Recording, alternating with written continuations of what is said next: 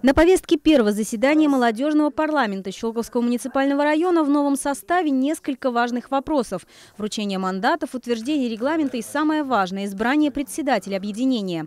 На собрании присутствуют представители активной молодежи нашего района, а также местные власти.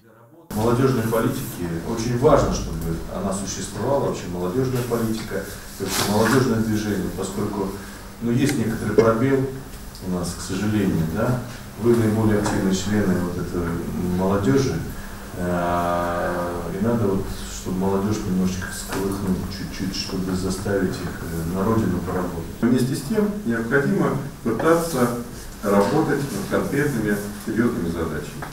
В обновленный состав молодых активных граждан района вошло 15 человек. Важная часть заседания – избрание нового председателя. Им стал Максим Попов.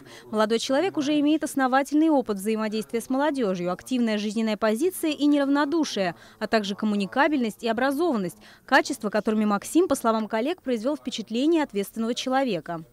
Понимаю, что ответственность э, серьезная, достаточно большая. Честно, нервничал. Молодой человек настроен серьезно. Работы, говорит, много, но необходимо сконцентрироваться на нескольких важных вопросах и в первую очередь заниматься именно ими. В первую очередь работать над нормативной базой самого парламента для того, чтобы эта структура работала и она функционировала. В частности, это взаимодействие со средствами массовой информации должно быть здоровый образ жизни.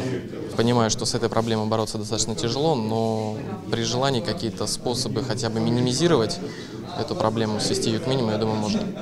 Лилия Тимиева, Александр Аржевский, телерадиокомпания «Щелково».